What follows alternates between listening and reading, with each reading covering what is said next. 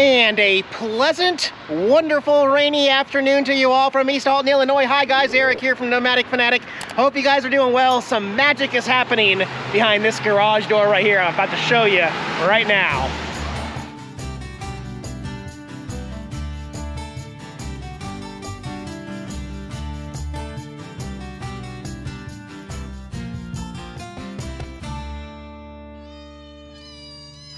Yeah, thanks for joining me, guys. I will be uploading this video with some Nomad Internet link below in the video description how I'm uploading all these videos. Inside the shop here, Wayne is hard at getting solar installed on Frida. I'll quickly give you a, a peek down here where uh, operations are going really well, low light in there, but getting all of the uh, components all installed, all five lithium Battleborn batteries there, and uh, once again, still giving me lots of outdoor storage cargo space. We'll uh, take the steps upstairs here, and as we do, there's RV Prepper Wayne up there on the roof. Oh my gosh, guys, look at this. These two uh, front panels are already mounted to the roof, uh, sealed with uh, Dicor self-leveling sealant. Got it. He's working on the back too. Let me get a better vantage. So Wayne had done some measurements prior to try to see. We thought, uh, well, we, we, we, we knew that we could only get three up here without going over the edge a little bit. Believe it or not, this edge right here, it is going over the roof a little bit, but you can barely tell. The reason being is uh, the uh, shower port over there. Let me go over here. Yeah, so took the doors off here so you can you can just walk right onto the, the roof here. And uh, again, there there's the edge. It doesn't go past the awning. What, what would you say, like maybe a half inch, Wayne? Yeah. Yeah that's not that's not bad at all. Like I said, the awning's there anyway, so it's not going to catch a tree limb or branch or, or anything. And uh, we've got all 1,280 watts of solar here on my 24-foot RV. You know, had to work with the uh, gray tank vent there and the shower dome and stuff. Can still walk out here along the back edge in front of the air conditioner and sit either there or sit here if I want to watch a NASCAR race. But uh, Wayne's kicking butt up here and uh, making sure that everything is sealed properly, putting Dicor under the brackets and using the right kind of screws. We even grabbed some metal along the edges here of the roof on both sides, so these panels are not gonna go anywhere. It's been many, many years since the infamous Nomadic Fanatics solar panel flew off on me on the road uh, near Roswell, New Mexico. Uh, I'll link that video up top here and actually put it in the video description as well. Um, that's why I don't do these jobs anymore. Plus, the last solar job I did, it was a separate system with a couple outlets inside. RV Prepper Wayne builds these system and ties them into the electronics of this so that that all those down there will be true 30 amp pass through. So whether I'm plugged into power or anyways, my point is Wayne does it right. He does it the right way. And uh, I'm so glad I hired him to do this for the second time. He's doing great work. In the meantime, on the inside, I, I have some updates to show you some stuff that I've been doing to get Frida ready. Um, so I'll show you that. Tara, you gonna take that? You gonna take that, Tara? I, I didn't put these up here for cat toys. That that's not what these bins are for. These bins.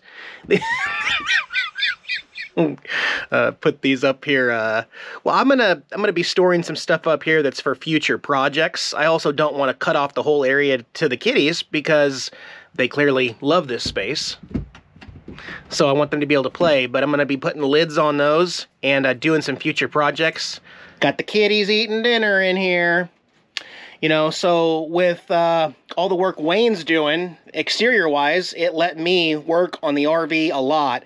And uh, I want to show you some of the uh, updates and stuff that I've been working on here. So, got my spice rack filled here.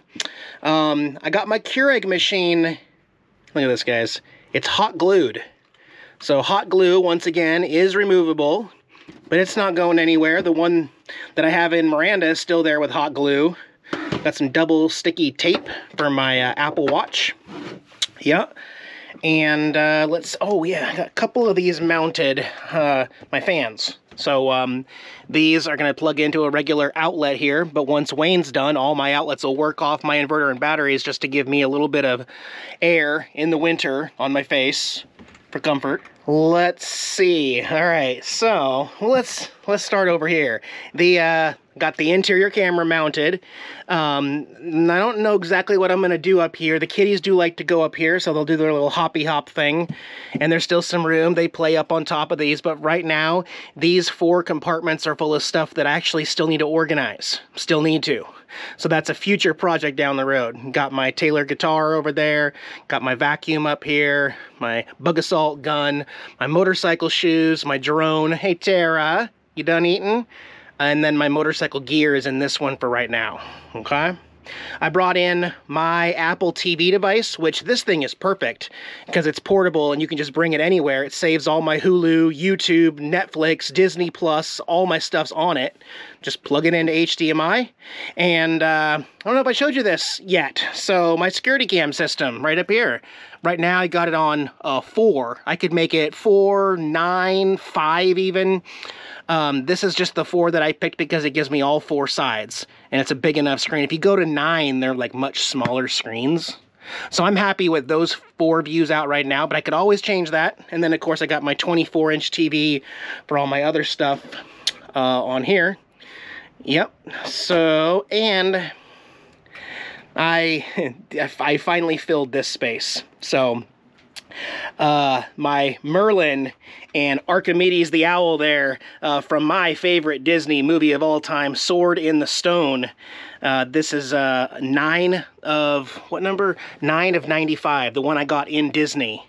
Finally uh, put on with double-sided tape all the way around.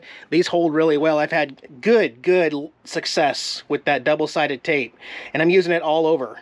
In fact, uh, one more thing, this piece of wood I put that there so that these don't, you know, slide this way when I hit the gas, but I put this on with double-sided tape as well. So not permanent, but definitely uh, gonna help keep it nice up here. Okay, so, and of course I got the litter box, the automatic robot litter box scent free. You know, people are gonna say, "How can you sit there and smell that?" Smell what, guys? It's. I I feel like I've been over this quite a few times, but um, maybe if I have some new subscribers, you can't smell anything. It automatically rotates right after they use it. It goes down into this sealed basin down here, and you empty that once a week. But it's just like one of those diaper things. You put the diaper in and then turn it. You can't smell outside that compartment until you use it, until you clean it, right? So yeah, the kitties will have their little space to go around, and that's where I'm at with everything, okay? Freaking Opie's still over here eating. What a hog. And a ham. You're such a ham. Big old ham sandwich. And a cute, sweet baby girl. Such a good girl. Yeah. I'm serious, guys. I, I love this shop space. And uh, we are going to finish up some stuff and then in my next video, hopefully, we will be done and on the road. In my very next video, guys, this week, okay? Hopefully. So, um, but we need to do some stuff on Wayne's RV, so we're gonna pull that in real quick, and then I'll get back to you. Go open this door and show you what's going on. The sun has set. It's dark outside. And yeah, what do you know? More Illinois rain. More and more and non-stop. And, uh, Boy, this would not be fun to do anything outside. Poor Miranda. So, so here real quick, we got uh, Wayne's 26 foot, is it a Tioga or a Jamboree? Jamboree. Jamboree. His 26 footer, I've got a 24 footer. We've got mm, maybe four inches to spare there. And uh, if we go to the front, just for comparison, uh, you, you can see we, uh, we cannot close the garage door. I mean, it's, it's close, but that's the difference between a 26 foot and my 24 foot. Uh, so Frida fits with the door shut, but you know, it's okay. Just wanted to uh, escape the rain, get a couple things done on Wayne's RV here real quick. And one more thing here, um, I've had a lot of people ask me about the mirrors on my RV.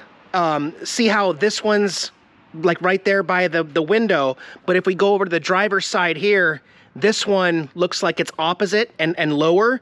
Just wanted to show it's the same exact way uh, on, on Wayne's. It's done that, they, they actually did this for a, a, reason. That's so that as you're driving, you're not, your view's not obstructed right here. You don't, you're not blocking your blind spot. They, they could put it lower so they did. But over here, they couldn't put it lower because if this were lower, you wouldn't be able to see over this. So this one had to be there. Uh, that's why they look a little different here. I'll stand back a little bit more. Right there, you can see this one's up higher. This one's a little lower. It's kind of just a, it's a, I was gonna say a, a Tioga thing, but it's more of just a, a Class C thing from Fords in that era. So a, a lot of them are like that, not just mine. Hey everybody, it is just after 2 a.m. Wayne has been working so hard. Well, as you can see, I'm loading stuff into the compartment where he was last working, which means, which means, guys, we're ready to hit the road. Everything is sealed up on the roof. 1280 watts of solar up there. Um, gosh, my heart's beating a million miles an hour. Finally, okay, guys, real quick, Opie and Tara and I, we will see you in the next video. Excited about the future. Bye, guys.